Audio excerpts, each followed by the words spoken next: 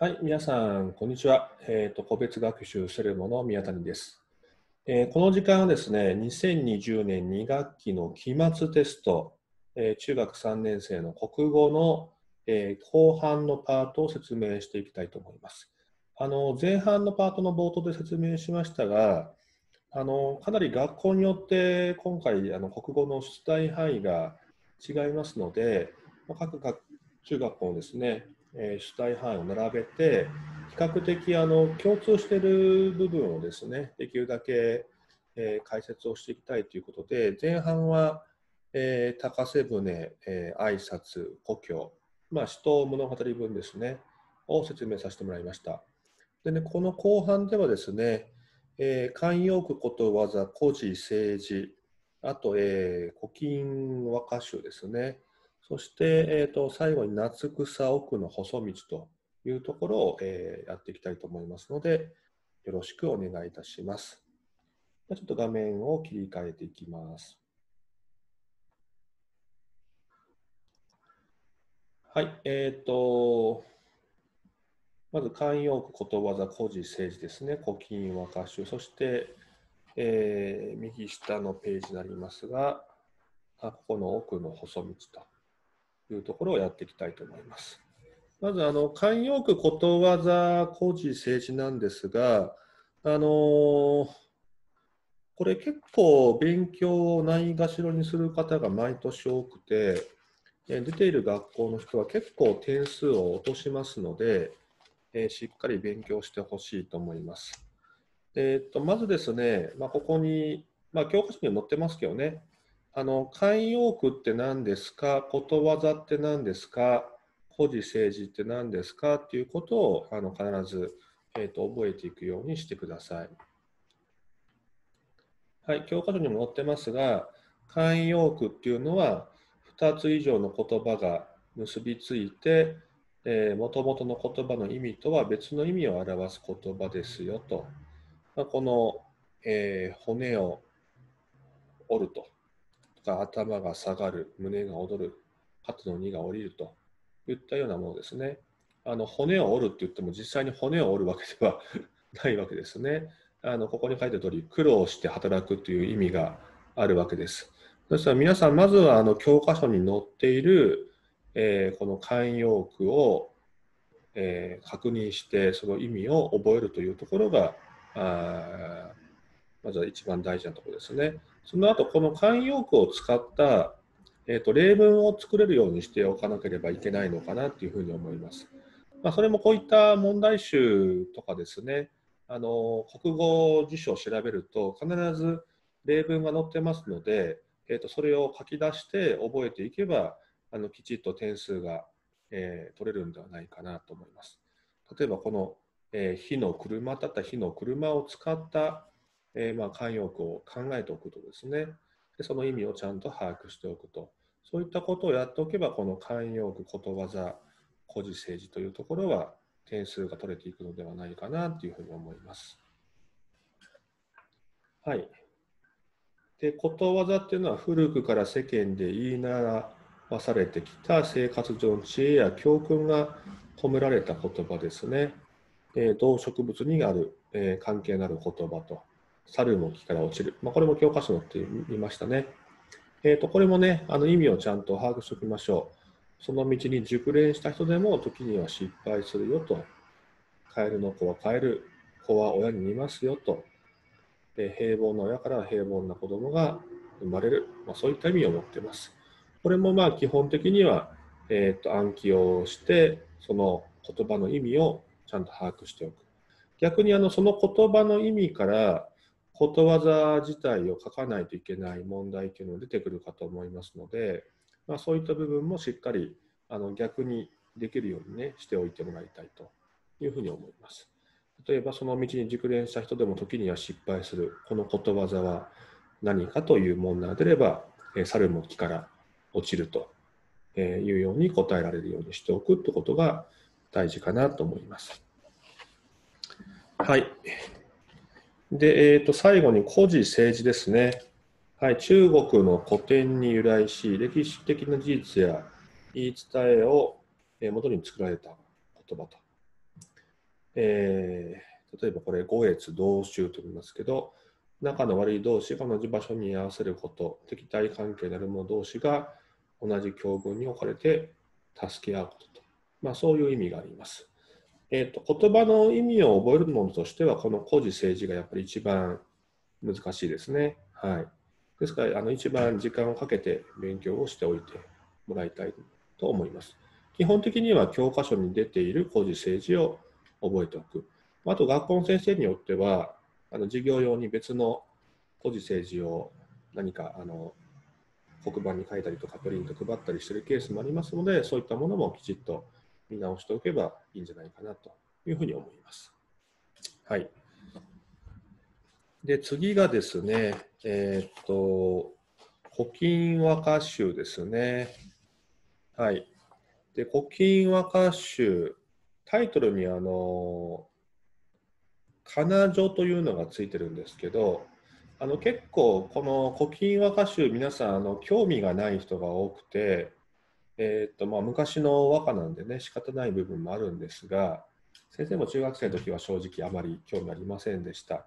はい、あの古今和歌集「彼女って何か」というふうに正式に知ったのは実は大人になってからなんですよ。ですから今回テスト範囲に含まれてる人は古今和歌集のこの「彼女ってそもそも、えー、何なんだということを理解していかなければいけません。はい、であの理解するためにはね、あのウィキペディアとかしっかり読み込むといいかなと思うんですが、えー、古今和歌集彼女は、えー、古今和歌集に添えた2編の序文のうち、かなで書かれているものの方の名称と、通常は単に彼女というと、えー、筆筆者は、えー、木貫之ですね。はい。で、えーと何かというとですね、この本格的にえー、和歌をですね、まあ、あの説明した、まあ、解説というふうに思ってもらったらいいかなというふうに思います。まあ、ここにですね、あの科学というのがありますけど、和歌の本質とか作法とかあ解釈ですね、あまあ、そういったものを論じて、えー、人々にですね、少しでも和歌に対して興味を持ってもらいたいということで書かれたのではないかなと言われているものですね。はい。そしてですね、えー、と構成ですね。彼女は冒頭で和歌の本質は何かを解き明かした後、和歌の成り立ちについて述べ、次いで和歌を6分類し、えー、各分類について説明をすると。そして和歌のあるべき姿を論じ、その理想像として2人の、えー、火星を挙げ、次に近代の孔明6人の歌人、まあ、六花六花線ですね、えー、を挙げてると。はい。で、最後に、えー、古今集、まあ、どういうふうにその和歌を選定したのかということについて説明して、和歌の将来像を述べて終わるという、まあ、いわゆる解説であるということですね。ですから、この、えー、柿の本の人丸とかですね、えー、まあ、登場人物、山辺の赤人。あと、六花線ですね。はい。えっ、ー、と、この辺りも学校の授業でもやってると思いますけど、人物名を、えーまあ、覚えておくといったようなことがあの必要かなというふうに思います。はい、じゃちょっと、えっ、と、戻りますね。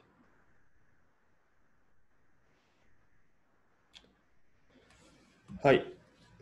でその中でもですね、えーと、万葉集、古今和歌集、えー、新古今和歌集というのは日本の三大和歌集で、えー、成立や特徴について覚えておくことが必要だということですね。えっ、ー、と、いつぐらい作られた、まあ、和歌集なのか。万葉集は奈良時代末期、古今和歌集は平安時代初期、新古今和歌集は鎌倉時代の、えー、初期であると。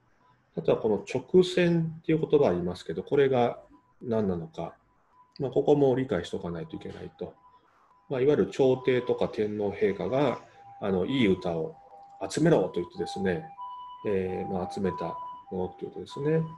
で、この、えー、歌の数ですね、万葉集4500、すごい数ですね。古今和歌集1100、新古今和歌集はまあ大体、えー、2000弱くらいあるということですね。あとは代表的なあの歌人の名前ですね。えっ、ー、と、結構、うん、救急車の音がうるさいですね。えっ、ー、と、漢字の読み方がすごく難しいので、えっ、ー、と、結構これはもう暗記に近い形になっていくかなっていうふうに思います。はい。で、あとはそのそれぞれの、えー、風とか特徴もですね、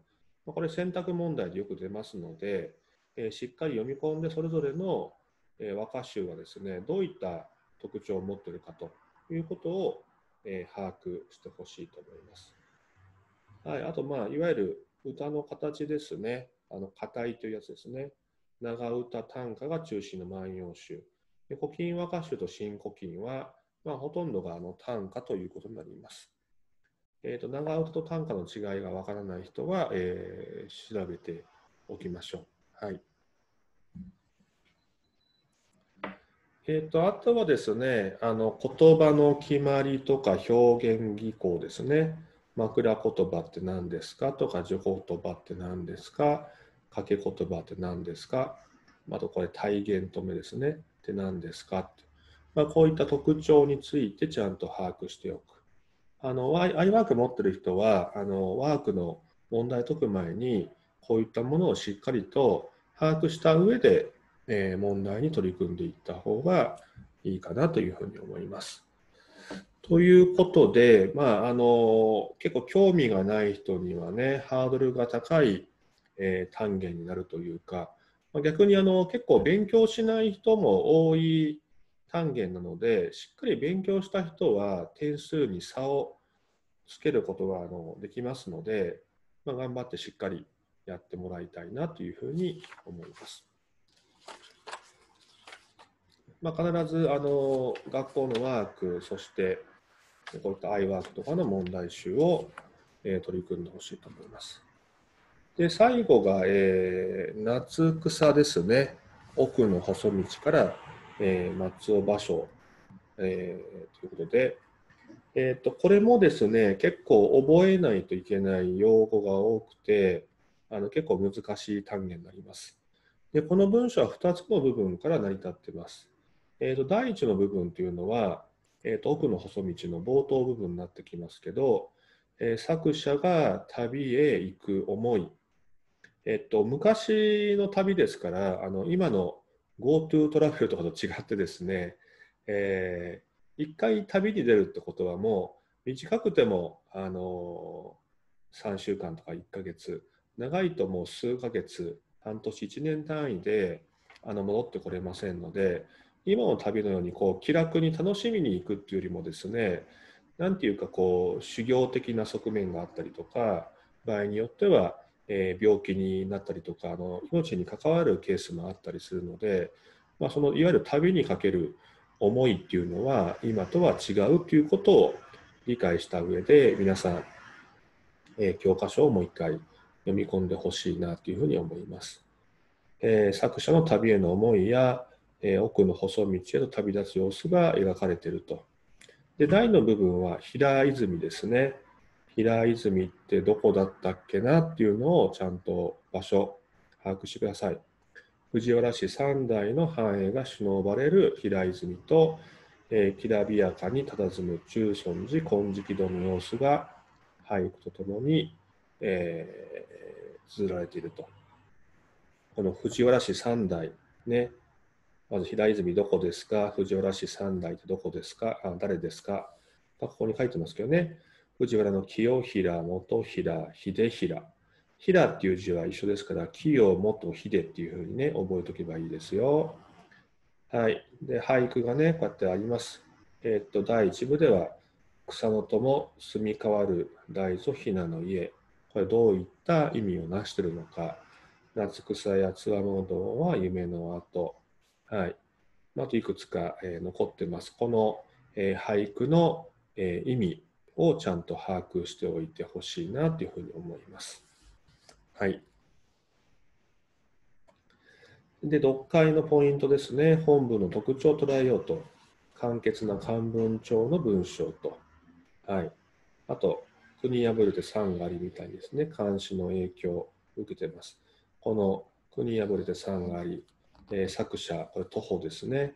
え、漢字で書けるようにしておきましょう。あと、この追句的な表現っていうところですね。えー、月日は100代の貨客にして行き交う年もまた旅人なり、これそれぞれどういった意味を持っているのかっていうところも、えー、しっかりと捉えてほしいと思います。まず iPhone のロックを解除してください。はい、ちょっと iPhone が反応してしまいました。あのー、まあ、あの問題集にですね、えー、っとまあ、こういうふうに書いてるんですけど、大体インターネットを調べてもらったら、これのいわゆる現代語的な訳っていうのがあの書いてますので、えー、そんなにあの難しく捉えないで、まず和訳の方からあ読んでみるということですね。